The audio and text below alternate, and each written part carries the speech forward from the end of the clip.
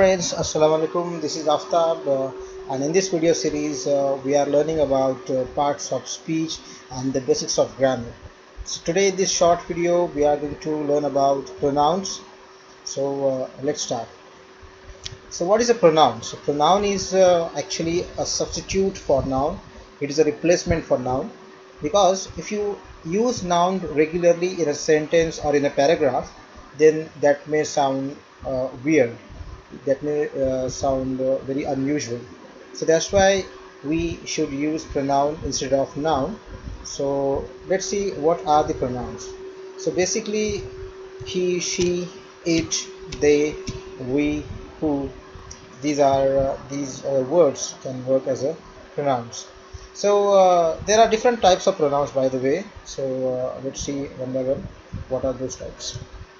First of all personal pronoun so personal pronoun is a, one of the basic part of the pronoun which uh, divide into into two uh, types that is subject and uh, object.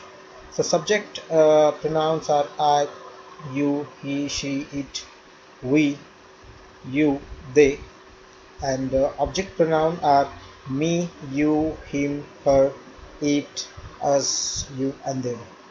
Uh, so let's see how it actually works. So in this sentence, Mona is 5 years old. So here Mona is a subject and also it is a noun. And uh, she is 5 years old in the next sentence. Here she is a subject as well as it is a personal pronoun. Then James and Tom are going home. James and Tom are here subjects and nouns and they are going home is a in this sentence they is a personal pronoun.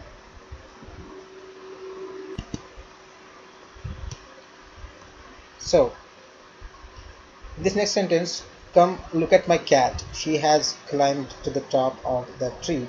So here, cat is a subject and he is a pronoun which replaces the cat. Come look at my cat. My cat has climbed to the top of the tree. So this sentence, there is a repetition of the noun. So to avoid that, we use pronoun, right? We use appropriate pronoun that depends on the subject or the noun which uh, uh, which we are replacing. Are we friends or not? So this is a question sentence. Here are is a subject and uh, we is a pronoun here. So the next is a relative pronoun. So if you see from the title of the of uh, this type uh, it relates. So we use a relative clause to make clear which person or thing we are talking about. For example, Marie Curie is the woman who discovered radium. So here Marie Curie is a person, a subject, a noun and the clause is the relative clause is who discovered radium, who discovered radium. So relative pronoun here is who. So the relative clause is giving more information about the person which we are talking. Also, we use a relative clause to give more information about a person, thing or situation. For example, the cyclist who won the race trained hard. So, the cyclist who won the race here, the cyclist we are giving more information about this person or the situation we are giving more information about the cycle that, uh, about the cyclist that the person who won the race trained hard. So who trained hard? The cyclist has been trained hard right? In this sentence a teacher is someone who helps us learn. So here the teacher uh, we are giving more information about the teacher by using this pronoun who that he help us learn who help us learn? A teacher who help us learn. A park is a place. A park is a place where we can have picnics. So here the we can have picnic, the relative clause gives more information about the park, a place. My winter jacket is the reason why I am sweating. So here also my winter jacket is a subject and why I am sweating is a relative pronoun here, here relative clause and why is a relative pronoun which is relating to the subject which is actually connecting the subject with the informative part uh, the next part of the sentence. So as you can see there are different types of relative pronouns uh, for example which that whose whoever whomever who and whom. So whose is the possessive form of who? Whose? W-h-o-s-e whose is the possessive form. It shows the possession. Whose? Whose property is this? For example form of who and whoever whomever and whom are different varieties of used uh, of who used in different sentences. All right so let's see the next type which is a reflexive pronoun. So reflexive pronoun and just uh, I just recommend you to don't get afraid with these uh, difficult words of the types. Actually the words the titles which are very difficult for example here reflexive is actually nothing but the words like myself yourself himself right? So reflexive pronoun as it uh, as the name suggests it referred back to a person or thing. It refer back. So it it is a reflection. It is a reflection. It uh, repeats to itself. When the subject and the object of a verb are the same so this is the uh, rule of uh, reflexive pronoun. So in the singular sentence myself means my myself. Yourself mean your. If you ask me about uh, the Hindi versions of this so myself means मैं खुद yourself आप himself वो herself वो itself वो the plural forms ourselves yourselves themselves right ourselves हम सब हम ourselves yourselves आप सब themselves वो सब right so let's see one example I was in a hurry so I washed the car myself so I am using the word myself which is referring back to me. The car is washed by me right? So i'm telling that this so i washed the car myself. He wanted to impress her so he baked a cake himself. He wanted to impress her so he baked cake himself. So he uh, he prepared the cake himself by himself right? So himself. That car is in a class all by itself because the car is, is a non-living object so we are using itself here itself the children made holiday decorations by themselves. There is a plural form, there is a plural noun over here, the children. So we are using the reflexive pronoun which is also a plural. Alright. The next part it is indefinite pronoun. So indefinite pronoun is nothing but we use indefinite pronouns to refer to people or things without saying exactly who or what they are.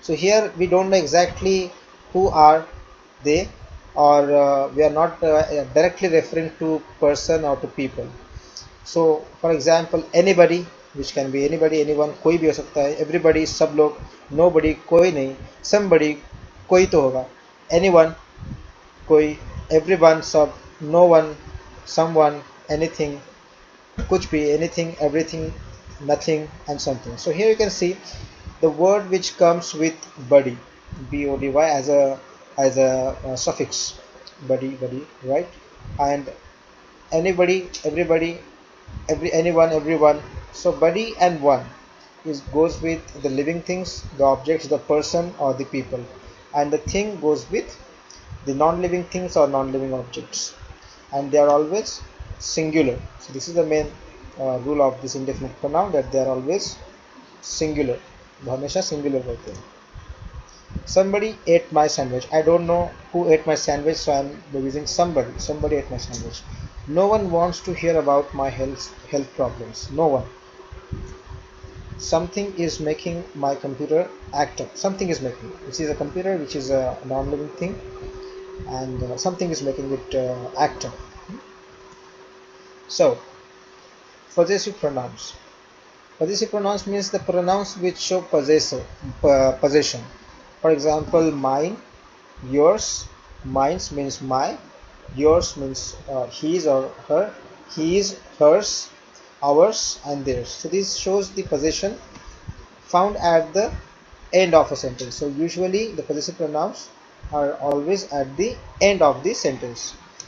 For example your car is a lot faster than mine. Your car is a lot faster than mine. So mine is a uh, possessive pronoun here i didn't have my book so jenny lent me hers so the book was of jenny so jenny lent me hers उसने Jenny ने उसकी book यहाँ पे दी है please return my money at once my return my money मेरी money मेरा पैसा then this CDs are yours this CDs are yours this CDs आपकी है आपकी property this how this house house is theirs ये घर उनका है theirs so this a possessive pronoun which show the possession of the objects or living or non-living things. The next is demonstrative pronouns. Demonstrative pronouns is uh, nothing but uh, the words which points or indicate something in a specific uh, time or specific uh, distance, right? For example, this, that, these, and those. Please give me one of those.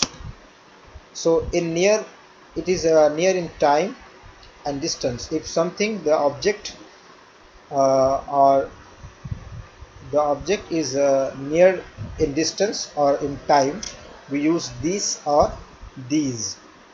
For example this was my mother's room so it is near you so you are telling this was my mother's room if something is far in time और distance something is कोई चीज़ आपसे दूर है, नज़दीक नहीं है time के ताल्लुक से और आपके डिस्टेंस के मुताबिक भी अगर कोई चीज़ आपसे दूर है तो we use that and those for example that was such an interesting experience that was such an interest that was means वो, जो टाइम में बहुत पीछे चला गया वॉज़ है, बराबर पास्ट टेंस है.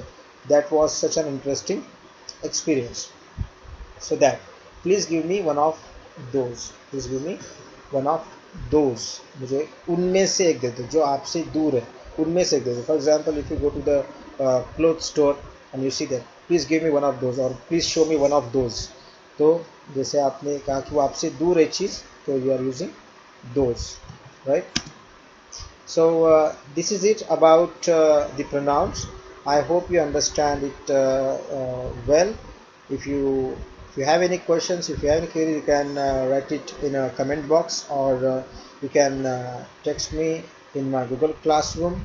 So here is this google class code. You can join anytime on google classroom app. So see you again in the next video. Thank you